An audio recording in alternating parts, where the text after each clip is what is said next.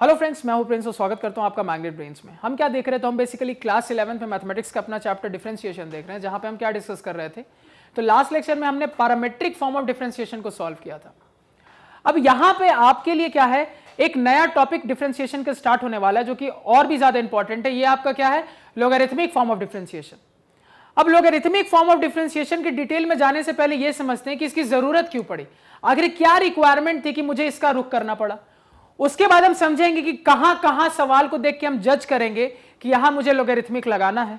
और यहीं पे एक लोगारिथमिक का शॉर्टकट देखेंगे। वो शॉर्टकट आपको एग्ज़ाम में डायरेक्टली यूज़ नहीं करना, लेकिन अपने आंसर को चेक करने के लिए या फिर कंपटीशन के सवाल को बनाने के लिए यूज़ करना है। बात क्लियर होगी जितनी बोली, इतनी सारी चीज़ें लेक्चर में डिस्कस करेंगे। सबसे पहले, सबसे पहला पॉइंट पॉइंट ये है कि आखिर इसकी ज़रूरत क्यों पड़ी? क्या डिफ्रेंसिएशन में इतना पढ़ा था वो काफ़ी नहीं था कि एक नई चीज़ पढ़ने की ज़रूरत पड़ी? आप खुद रियलाइज़ करोगे, सवाल को देखो। मैं आपको कह रहा हूँ कि वाई एक्स की पावर एक्स है और मैं आपसे पूछ रहा हूँ कि मुझे y डैश बताओ तो क्या बताओगे?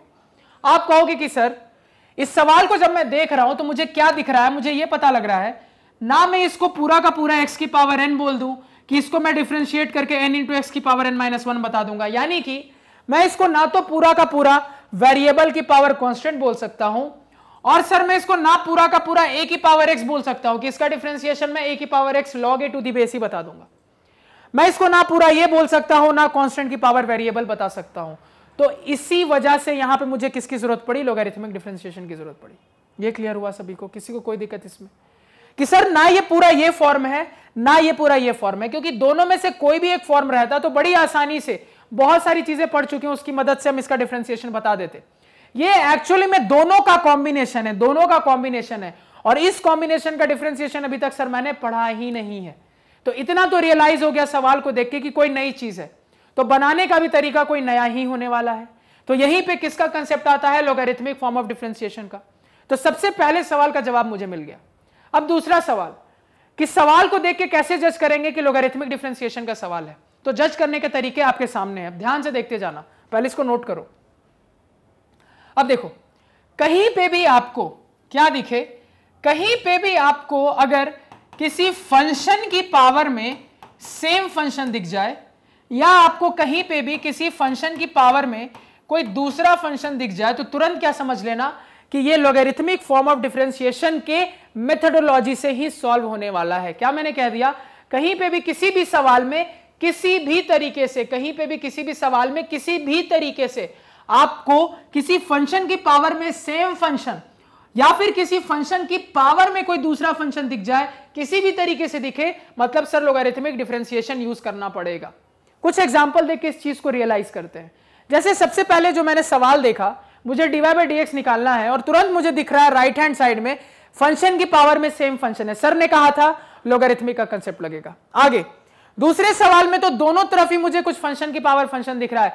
मतलब सर, अभी पता नहीं कैसे, लेकिन लोगारिथमिक का कंसेप्ट लगेगा। तीसरे सवाल को देखा। E की power x into sine X cube यहाँ सर कहीं नहीं लगेगा। यहाँ लोगारिथमिक की ज़रूरत नहीं है, लेकिन जैसे ही मैं अपने राइट साइड जाता हूँ तो मुझे क्लियरली क्या दिख रहा है? टेन एक्स की पावर में एक्स फ़ंक्शन की पावर में कोई दूसरा फ़ंक्शन सर लोगारिथमिक किसी ना किसी तरीके से तो लगेगा। कैसे अभी फ़िलहाल पता नहीं। अब जब मैं लास्ट सवाल में आ रहा हूँ तो लास्ट सवाल में कहीं पे भी फ़ंक्शन की पावर फ़ंक्शन नहीं है। फिर भी लोग एरिथमिक लगा सकते हैं। अब इसको बाद में डिस्कस करेंगे।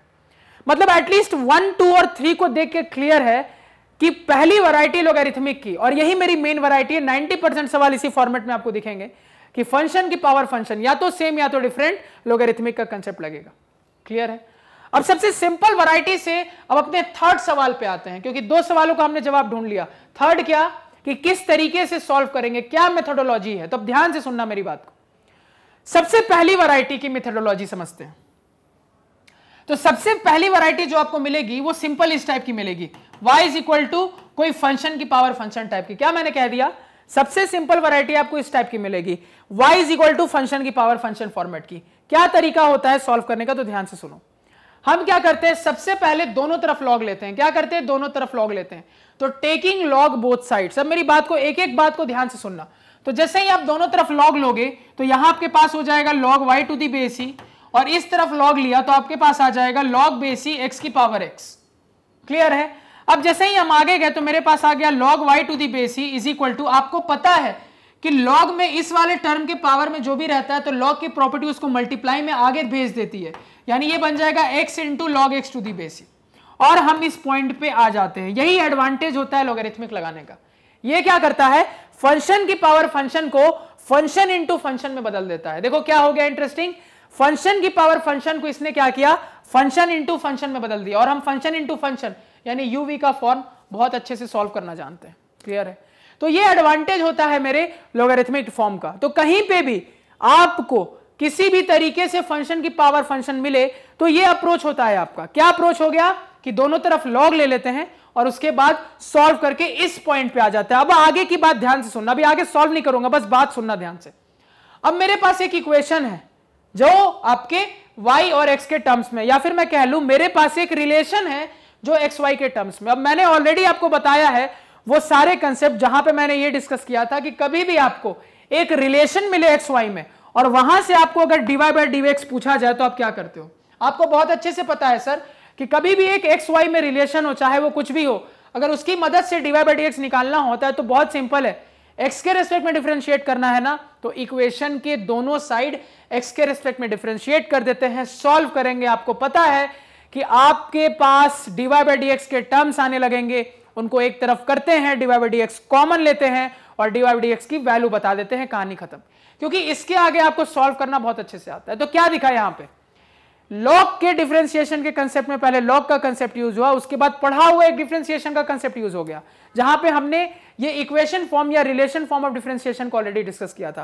तो अगर हर चीज़ को एक बार रिपीट करूँ आपके लिए तो यहाँ पे क्या करेंगे, जहाँ आपको कुछ फ़ंक्शन की पावर फ़ंक्शन दिख जाए तो तुरंत क्या करते हैं, दोनों तरफ़ लॉग लगा देते हैं। तो वो फ़ंक्शन की पावर फ़ंक्शन को लॉग की प्रॉपर्टी के कारण फ़ंक्शन इंटू फ़ंक्शन के फॉर्मेट में बदल देता है, और आपके पास एक रिलेशन आने लगता है एक्स और वाई के टर्म में।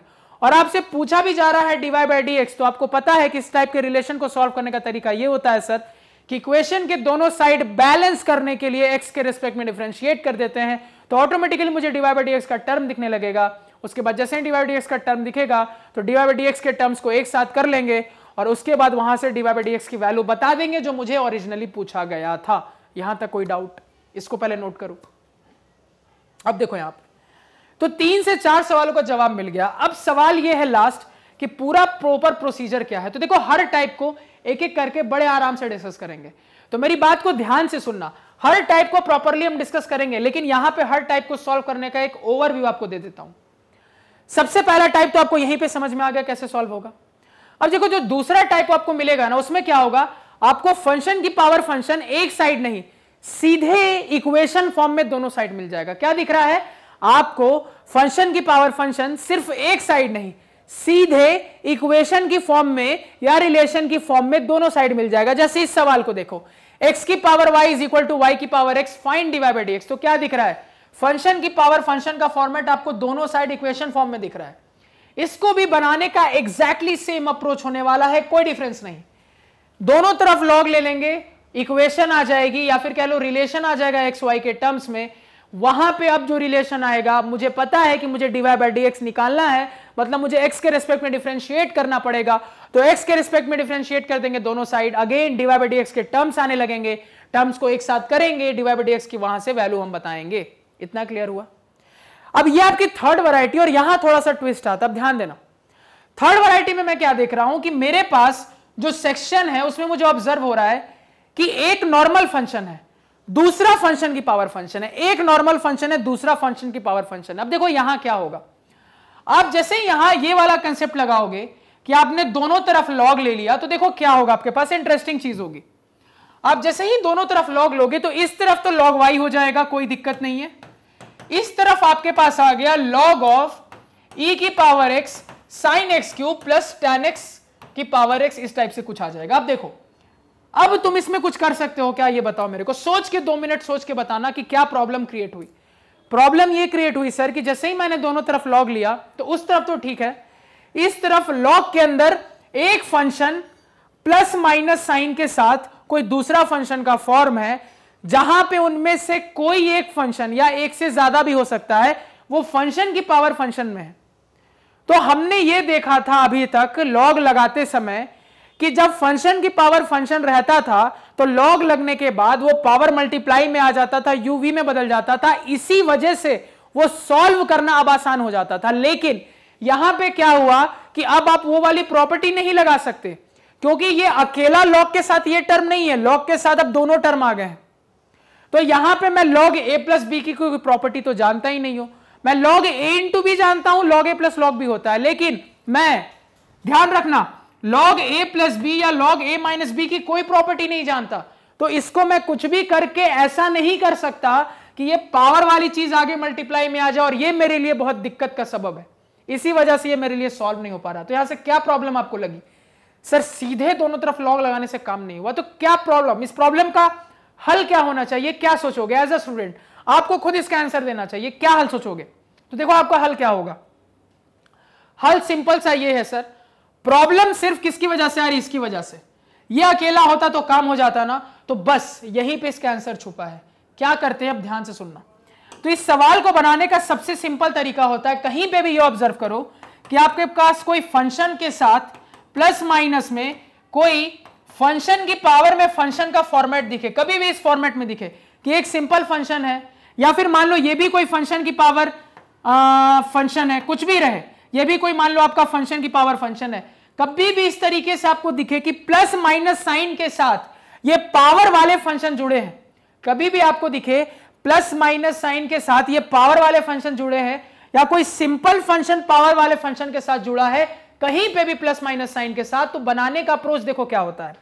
अप्रोच ये होता है कि उसमें जितने टर्म है ना, मान लो प्लस माइनस के साथ तीन टर्म है, एक टर्म दो टर्म तीन टर्म ऐसे करके तीन टर्म है। तो आप हर टर्म को एक अलग अलग वेरिएबल का नाम दोगे एग्ज़ाम्पल के लिए। इसी सवाल को मैं देखता तो ये क्या है? दो टर्म से मिलकर बना है। पहले टर्म को मैं यू बोलूँगा, मेरी मर्ज़ी, आपकी मर्ज़ी है पी भी बोल सकते हो। दूसरे टर्म को मैं वी बोल दूँगा। अब मेरी बात को ध्यान से सुनना। अब मैं क्या करूँगा? सबसे पहले u का डिफ्रेंसिएशन करूँगा x के रेस्पेक्ट में, यानी कि मैं du बाई डी निकालूँगा। फिर मैं v का डिफ्रेंसिएशन करूँगा x के रेस्पेक्ट में, यानी कि मैं dy बाई डी निकालूँगा। और उसके बाद उन दोनों को अब जोड़ दूँगा तो मेरे पास ऑटोमेटिकली dy बाई डी आ जाएगा। तो यहाँ से क्या सीखने को मिला?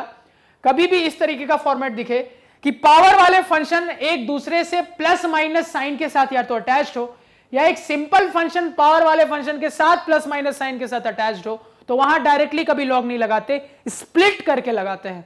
यानी इसको एक अलग फ़ंक्शन मान लेते हैं, उसको एक अलग फ़ंक्शन मान लेते हैं, तब दोनों को अलग अलग डिफ्रेंशिएट करते हैं और वहाँ से डिवाइड एक्स बताते हैं। जब हम ऑलरेडी सॉल्व करेंगे तो इस बात को हम और डिटेल में वहाँ पे डिस्कस करेंगे। यहाँ पे एक ओवरव्यू मिल गया। अब सबसे लास्ट वाला पे आते हैं, जो सबसे इंटरेस्टिंग है। यहाँ कहीं पे भी फ़ंक्शन की पावर फ़ंक्शन का झंझट ही नहीं है। ई e की पावर एक्स फ़ंक्शन की पावर फ़ंक्शन नहीं है कांस्टेंट की पावर फ़ंक्शन है। तो उससे कंफ्यूज मत होना। तो सर, इसमें कहीं पे भी फ़ंक्शन की पावर फ़ंक्शन का टर्म नहीं है। फिर भी सर, क्यों लॉग लगाएँगे? आप बोल रहे थे कि आपने इसको यहाँ पे लिखा है मतलब आप इसको लॉग के तरीके से बनाना चाह रहे हो। मेरी बात को ध्यान से सुनना। अगर मैं नॉर्मली तुमको अभी कह दूँगा कि सवाल का डीवाई बाई डी निकाल लो ना तो आपके पसीने निकल जाएँगे। क्यों? क्योंकि देखो कितना कॉम्प्लिकेटेड फ़ंक्शन है। ओवरऑल यू बाई वी का फॉर्म है। यू भी तीन फ़ंक्शन के प्रोडक्ट से मिलकर बना है। वी भी दो फ़ंक्शन के प्रोडक्ट से मिलकर बना है, और वो भी सिंपल नहीं है। तो क्या समझ में आ रहा है? सर, पसीने निकल जाने इसको सॉल्व करने में। वन बाई वी स्क्वायर करूँगा V D U minus U D V इतना लेंदी जाएगा कि आप इमेजिन नहीं कर सकते। तो क्या सर कोई छोटा तरीका था? यहीं पे तो लॉक काम आया। लॉग क्या करता है? देखो लॉग बस ये नहीं है कि पावर वाली चीज़ को आगे लाके हमारे लिए चीज़ें आसान कर देता है। लॉग की एक और खासियत होती है सर कि लॉग में कहीं पे भी ए इंटू बी का टर्म होता है ना, कहीं पे भी मल्टीप्लाई या डिवाइड की चीज़ होती है तो लॉग इसको प्लस और माइनस में बदल देता है। ये खासियत होती है लॉग की। लॉग क्यों लगाते इसके पीछे एक बहुत ही शानदार रीजन छिपा है। एक तो लॉग किसी चीज़ को पावर को आगे में ले आता है प्रॉपर्टी लगने के कारण जिससे वो चीज़ हैंडल करना आसान हो जाती है। और दूसरी चीज़, कि कभी भी हमारे पास मल्टीप्लाई और डिवाइड में मिक्स होकर कॉम्प्लिकेटेड चीज़ होती है तो लॉग की हम प्रॉपर्टी जानते हैं कि A into B log A plus log B A by B log A minus log B यानी मल्टीप्लाई डिवाइड वाली चीज़ को लॉग प्लस माइनस में कन्वर्ट कर देता है। और मुझे बहुत अच्छे से पता है कि प्लस माइनस वाले टर्म्स को डिफ्रेंशिएट करना ज़्यादा आसान है। किसके कंपैरिजन में? तो u इंटू वी या u बाई के फ़ी के फॉर्म के कंपैरिजन में। तो यहाँ से एक नई चीज़ सीखी। कि कहीं पे भी एग्ज़ाम में मुझे कोई कॉम्प्लिकेटेड फ़ंक्शन दिखे, जो यू वी का होना तो वहाँ तुरंत लॉग का सोचेंगे। क्यों सर क्योंकि लॉग उसको प्लस माइनस में कन्वर्ट करके आसान कर देगा। उसके बाद से फिर वही राम कहानी कि log Y is equal to log of this दोनों तरफ़ लॉग लगाया। अब मेरे पास देखो क्या हो जाएगा। Log A into B into C divided by D into A तो ये बन जाएगा log A plus log B plus log C minus log D minus log E तो पाँच लॉग आ गए। और प्लस माइनस साइन के साथ आ गए। अब उनको दोनों तरफ़ एक्स के रेस्पेक्ट में डिफ्रेंशिएट कर दूँगा। रिलेटिवली बहुत इजियर हो जाएगा सॉल्व करना। किसके कंपैरिजन में? अभी नॉर्मली यू वी या यू बाई वी लगा के सॉल्व करता तब। तो इतनी वैरायटी हमें देखनी है बेसिकली यहाँ पे। अगर इतना आप समझ गए हो तो अब मैं आपको जितने भी लेक्चर लूँगा लॉक के ना तो आपको कभी दिक्कत नहीं होगी, कोई प्रॉब्लम नहीं होगी, क्योंकि यहाँ पे हर एक सवाल का डिटेल हम देख चुके हैं जो हम आगे देखने वाले हैं। इनफैक्ट इस पॉइंट पे तो अब आप खुद भी लॉक के सारे सवाल ट्राई कर सकते हो सॉल्व कर सकते हो। लेकिन हम काफ़ी अच्छे अच्छे वैरायटी के सवाल लेंगे और आपके कंसेप्ट को और क्लियर करेंगे और देखेंगे क्या क्या वैरायटी सवालों की यहाँ बन सकती है। क्योंकि कंसेप्ट पढ़ना एक बात होती है, उसको सवाल में अप्लाई करना या देख पाना या चेक कर पाना कि क्या वो अप्लाई हो रहा है, एक दूसरी बात। तो मिलेंगे नेक्स्ट लेक्चर में सवालों की सीरीज़ के साथ। तो आई होप आपको जितना यहाँ बताया वो क्लियर है, सारे कंसेप्ट क्लियर है। कहीं पे भी लगा, कोई भी डिटेल आपको क्लियर नहीं हुआ तो उस पॉइंट पे लेक्चर फिर से देखें, फिर भी क्लियर नहीं होता कमेंट सेक्शन में बताएँ।